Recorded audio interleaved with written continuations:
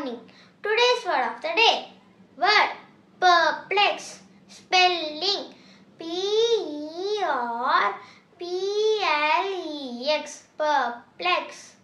Meaning puzzled or confused. So shall we make the sentence? The new max problem perplex us to solve. Thank you. Bye.